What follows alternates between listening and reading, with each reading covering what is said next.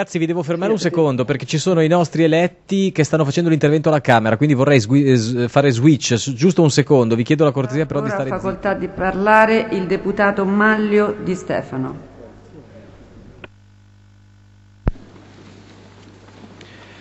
Signor Presidente del Consiglio, signori ministri, signori deputati. Le teatrali dimissioni dell'ex ministro Terzi, avvenute ieri in quest'Aula, dimostrano, se ancora ve ne fosse bisogno, l'inadeguatezza totale di questo governo tecnico che lei presiede, signor Presidente.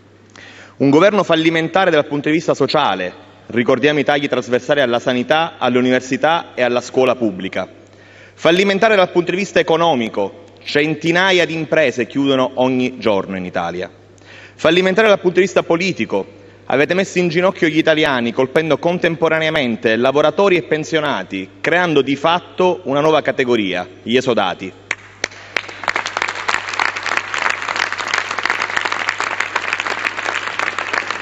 Avete tutelato unicamente gli interessi della casta politica e finanziaria, un governo e un Presidente del Consiglio forte coi deboli e debole coi forti. Che coraggio!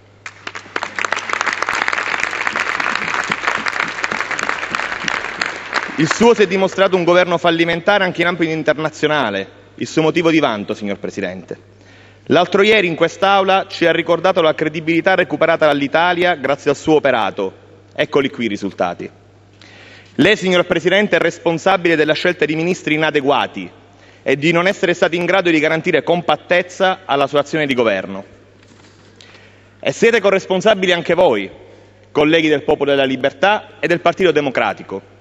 Voi che ieri avete definito la crisi indiana come l'8 settembre del governo Monti e che avete attaccato il suo operato duramente, dimentica- dimenticando che siete stati voi a sostenerlo, confermandone costantemente la fiducia.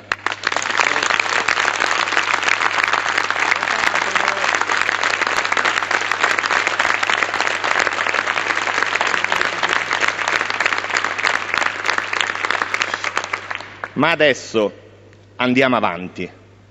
Quello che ci interessa è una risoluzione positiva e nel miglior tempo possibile per questa crisi internazionale.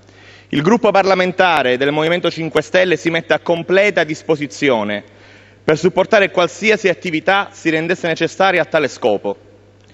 Noi ribadiamo che la trasparenza sia il fondamento per la risoluzione di ogni conflitto e la base per tutelare sempre gli attori coinvolti.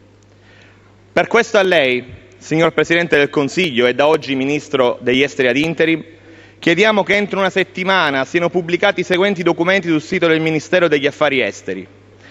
Decreto legge 107 del 12 luglio 2011 riguardante le misure antipirateria.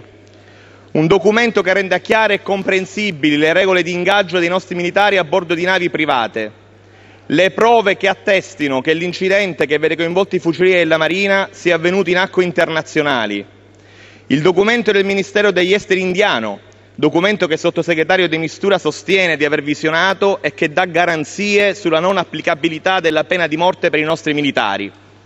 Tutta la documentazione relativa all'accaduto per conoscere dettagliatamente nello specifico chi c'era sulla nave e cosa ha fatto per tutelare i nostri fucilieri, qual è stata l'autorità che ha consentito l'inversione di rotta della Lexi, il nome, il cognome e il grado dell'autorità militare che ha ordinato ai nostri due fucilieri di scendere a terra.